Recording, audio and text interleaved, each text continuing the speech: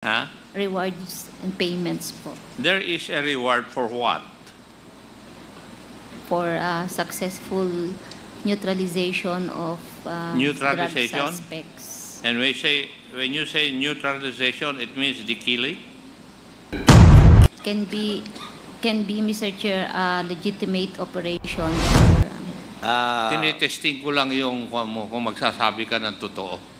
Alam ko naman na last week of May yung meeting ninyo eh.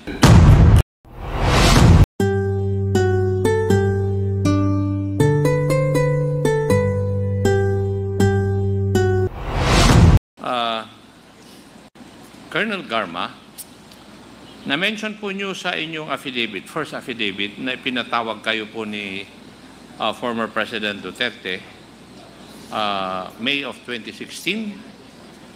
And uh, ang requirement niya, ihanap mo siya ng opisyal na membro ng INC who is a good uh, intelligence officer. Tama po ba? Yes, Your Honor, Mr. Chair. Would you know if uh, yung sinabit mong pangalan uh, eh, nag-report kay former President Duterte? Yes, Your Honor. Yes. And Yes. sino po yung official na yun? Nirekomenda po ninyo? Uh, Colonel Le- Leonardo po, Mr. Chair. And before I proceed further, uh, Colonel Garma, tumawag na po ba sa iyo si former President Duterte? Tumawag po. Tumawag? Tumawag na po ba siya sa iyo? Yes, Mr. Chair. How many times? Once po, Mr. Chair. Ano po ang pinag-usapan ninyo kung po pwedeng malaman? Um, he explained to me uh, yung pong pinaintindi niya sa akin kung bakit Iglesia ni Cristo yung pinahanap po niya, Mr. Chair. Okay. And uh, Colonel Leonardo, uh, kayo po ang in-endorse ni Colonel Garma kay Presidente. Did you have a meeting with the President in July of 2016? actually, ah, na-meet ko po siya ah, last week of June, Mr. Chair. Ha? Na-meet ko po, ah, No, did you have a meeting after Colonel Garma has endorsed your name to the former president that you met with the president sometime in July 2016? ang pagkakalam ko po, Mr. Chair, ah, last week of ah, June, Mr. Chair. Hindi ba last week of May?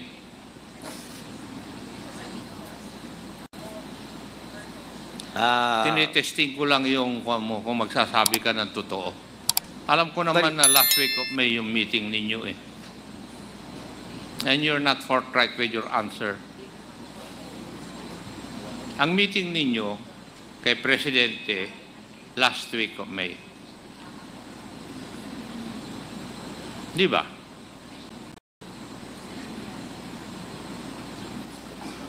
Tama? ah,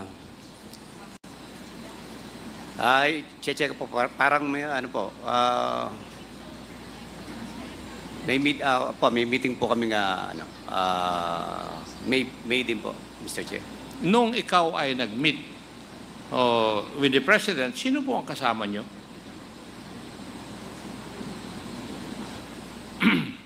Ah, actually po mga mga officers po Mr. Mr. Chair. Mga Ano po? Officers po ng mga ng PNP. Sino po? Officers po ng ah, PNP Mr. Chair. Yung sa as far as I can recall Mr. Chair. With the President. Opo Mr. Chair. Ang sabi mo noon, yung class ninyo, hindi nakipag-usap kay Presidente. Ah, ako lang po 'yun, ah, Mr. Hindi po yung class namin. Sa ah, yung sinasabi niyo na may na nag-meet kami Mr. Chair. Hindi ba, Colonel Garma, ang sabi mo, sometime in May, doon ka na pinatawag ni Presidente, di ba? At sinabi mo yung pangalan ni Colonel Leonardo. Yes, Mr. Chair. Yes. And a meeting took place dahil kailangan ka ni Presidente eh. Sinabi na nga ng pangalan mo ni Colonel Garma eh. Tapos i-deny mo na nakipag-meet ka na kay Presidente in May of 2016. Opo, Mr. Chair, ah, May. Na- Yes. Pero ako lang po, wala pong ah, ibang ah, kasama. Huwag kang Mr. magsinungaling sa akin. Baka i-charge pa kita ng perjury. You met with the President with some people. And may I know the topic. Ano yung topic ng inyong pag-uusap ni Mr. President? O former President? Actually, Mr. Chair, ah, ano lang po kami, nag... ah, ako po, ah, nandun lang, Mr. Chair, ah, parang...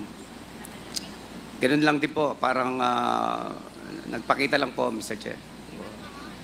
Hindi naman Ah, po talagang ah. meeting, ah, hindi naman po ako kasali sa mga meeting noon, Mr. Chair. Ibig mong sabihin, hinanap ka ni Mr. President, ah, former President, para lang imit ka?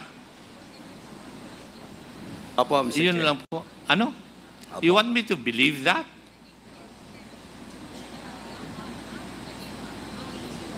Nag-meet kayo dahil naghahanap siya ng isang opisyal na tutulong sa kanya sa kanyang implementation of the war on drugs. Di ba tama?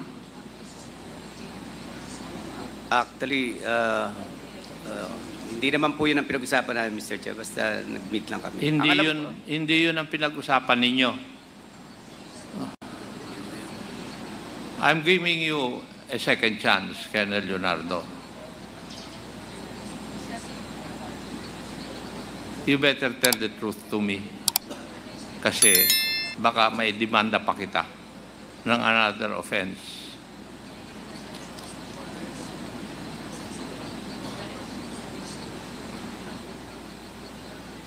Di ba?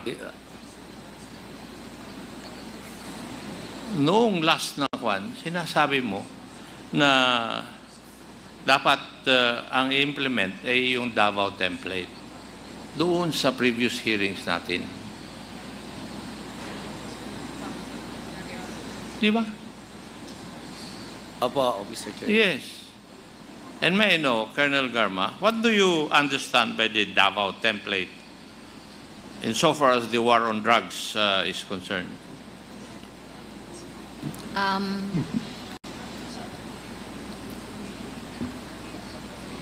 the, the payments and rewards po, Mr. Chair.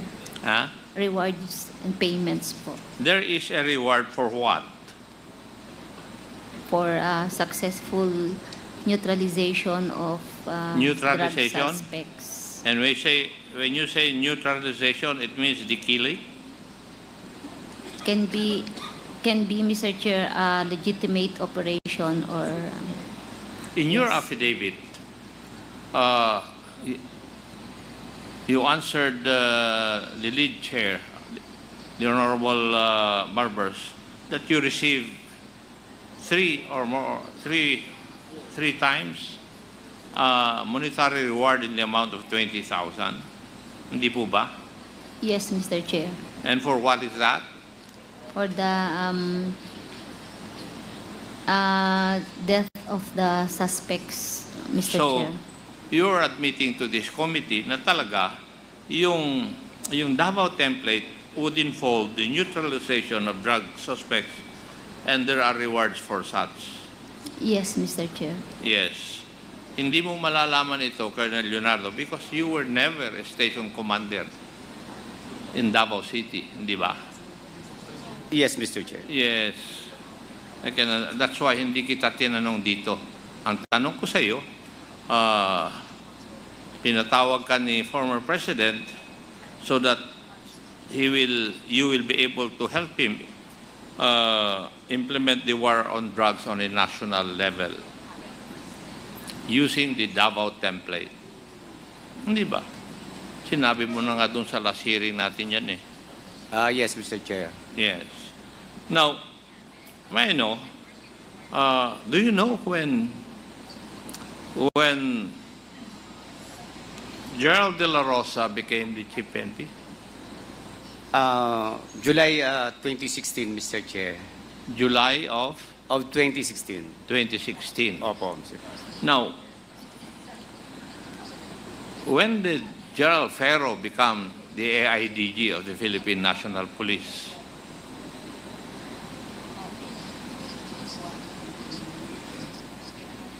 I, I'm not sure po kung... It's uh, also July of 2016. Tama? Ah, tanungin mo si Colonel Cunanan para may research niya kaagad. July of 2016. Now, when did uh, General La Peña became the PDEA head? I guess uh, same pong ano, Same. July din po yata, Mr. Chair. Pare-parehas, di ba? Yung AIDG, Anti-Illegal Drug, ng Philippine National Police, Gerald Ferro, yung PDEA, si Gerald La Peña, and uh, Chief PNP, si Gerald De La Rosa. Tama? Ah, tama po, Mr. Chair. Yes. And it was during that time na nagrekomenda ka ng ng task force which hindi natuloy. Actually, hindi ko po na-recommend, uh, Mr. Chair. Uh, June, uh, ano pa lang, June, uh, last week of June, uh, hindi na po, kasi meron na pong uh, uh, i-implement na double barrel, Mr. Chair. Yung yung double barrel, kalahati nun, yung Oplan Tukhang, yun yung ginagawa sa Davao. Tama? Tama po, Mr. Chair. Oh, kasi nung plinano ni Gerald De La Rosa yung Oplan double barrel, dinagdag niya yung high value targets. Tama po, Mr. Chair. Yes. Uh, now, would you agree with me, General, uh, Colonel Garma, na doon sa implementation ng Oplan Tukhang and Oplan high-value targets, when the target does not resist the arrest, they would still be killed or neutralized and to be justified as nanlaban with guns and drugs planted on their bodies. Would you agree with that? Mr. Chair, can I explain my answer, Mr. Chair? Um, if you read the results of the investigation or um, um, look at the result of the scene of the crime uh, operations, um, makikita mo po na parang magda-doubt ka kung lumaban ba or hindi yung suspect. So you agree with my statement? Uh, sometimes, Mr. Chair. That's also the findings of the human rights groups. Kaya tinatanong ko lang sa iyo kung naniniwala ka. Now, Colonel Leonardo, would you believe that also? Ah, meron po akong mga na, narinig na mga ganong case, Mr. Chair. Narinig mo lang. And therefore, Ah, napanood. you do Ah. not believe the, uh, the investigations conducted by the human rights group Ah, may, meron po, meron pong nangyayaring ganon, Mr. Chair. Okay, thank you for that. Now, uh, the the uh, the drug list. It was made in July of 2016, tama? Galing sa Philippine National Police. Would that be correct, Colonel Leonardo? Ah, I believe so, Mr. Chair. You believe so? Uh, Pidea, that would be correct also?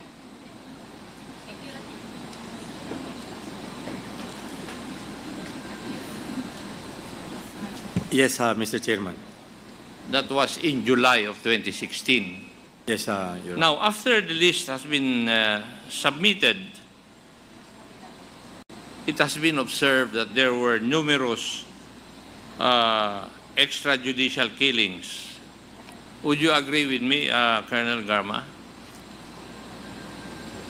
Ah, Mr. Chair, yung nga po, sabi ko, kung tignan mo po yung result na SOCO, basahin mo ang report, it's It, it, it is possible. Meron po. Meron. Hindi. What I'm asking is, after the list, the first list has been made, biglang dumami yung extrajudicial killing according to statistics. Um, statistics won't lie, Mr. Chair. Numbers won't lie, Numbers Mr. won't Chair. lie. So you agree with my statement. How about Colonel Leonardo? Would you agree with me that uh, after the submission of the list, there were numerous uh, extrajudicial killings? Ah, meron, meron po, Mr. Chair. Meron. And maybe this is because of the pronouncement of the former president and uh, the monetary operational support uh, fund. Di ba? Would you agree? Na kaya dumami nito dahil uh, doon sa pronouncement ng ating presidente noon at saka doon sa uh, monetary or operational reward, uh, fund reward. Tama. Kaya lumakas ang kwan ng kwan eh, nagka-interest sa mga pulis. Would you agree?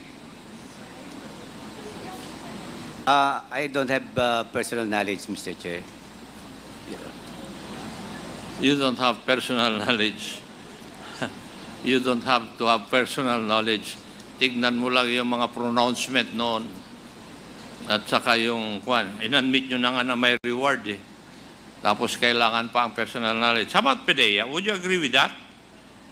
Now, there was uh, uh, rampant EJ case after the list was, the first list was made. Uh, that was the indication, uh, Your Honor. Yes, kasi August pa lang. Ang dami nang namatay. eh. Now, uh, and would you agree with me also, Colonel Garma, Colonel Leonardo, that abuses came about because of the monetary reward? Ang reason eh, nanlaban, natokhang, or naplan, naplantingan. Di ba? Lumabas yung mga terminologies na yan sa ating kapulisan eh. Would you agree with me na there were abuses using this these uh, terminologies nanlaban, natokhang, at saka naplantingan? I believe uh, so, Mr. Chair. Would you also agree with that, uh, Colonel Garma? Yes, Mr. Chair. And PDEA, would you agree with that? Yes, uh, Your Honor. Yes, kasi nandun naman yung mga statistics eh. Uh, now, ang pinag-aawayan natin ay si Colonel Leonardo ayaw niyang diretsahin tanggapin merong merong levels of reward. And Colonel Garma, would you admit na merong levels of reward depende dun sa nano-neutralize? Yes, Mr. Chair. Yes. Pedeya, would you agree na merong levels of reward? Kasi narinig ko na rin ito sa report ninyo eh. Uh, yes, uh, Mr. According to your research. Yes, Your Honor. And only you, Colonel Leonardo, cannot directly admit na merong levels of reward. Bakit kaya? Ah, meron po yung level yung mga nasa list, Mr. Chair. So you're admitting that may levels of reward and may reward Uh, system. sir- If there are rewards, then there will be rewa- a reward system. Tama po ba? Ang alam ko po, ah, operational ah, support, Mr. Chair. Okay, call it what you want. Pero kagaya ng sinabi ko kanina, yung reward, yung monetary reward or operational support. Di ba? Yes, Mr. Chair. Meron bang Operational support na hindi monetary? Sa tokhang? Matanong ko nga po kayo. Wala po kung ah, Hmm.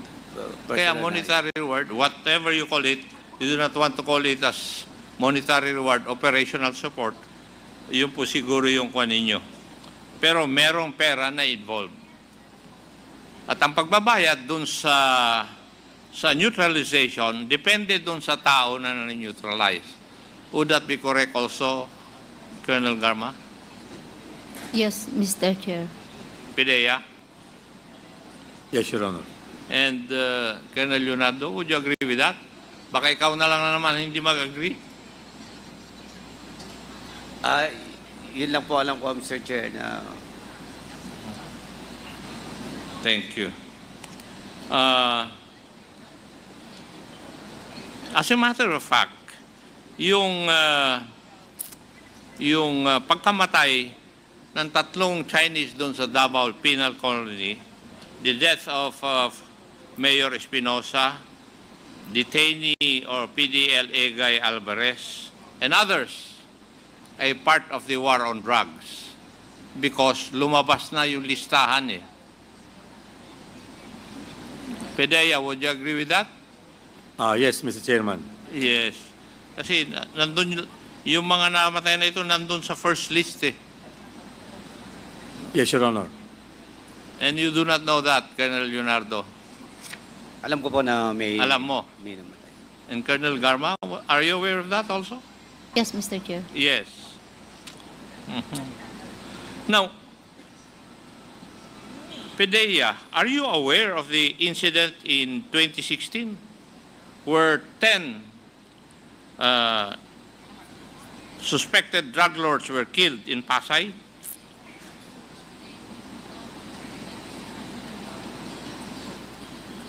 I will find out, Your Honor. Uh, I, I'm, I'm not uh, with this. Colonel Garma, are you aware of that? No, Mr. Chair. Colonel Leonardo, are you aware of that? That incident in Pasay in August 2016? Ah, hindi ko po, ah, hindi po ako aware dyan, Mr. Chair. You do not know that? Ah, negative, Mr. Chair. Ha? Balitang-balita na yung mga gumawa nito, they received 10 million for the 10 suspected drug lords na namatay. And you do not know that? Siguro, Pedea, could you please research on this? Uh, we are checking on, on it already, Your Honor. Yes, thank you. Now, uh, Colonel Garma, uh, you have been assigned in Cebu for how long?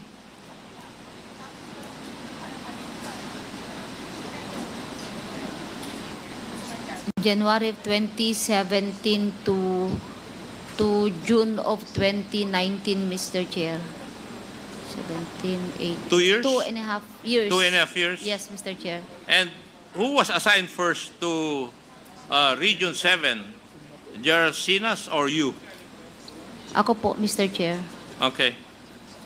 Ikaw ang nauna.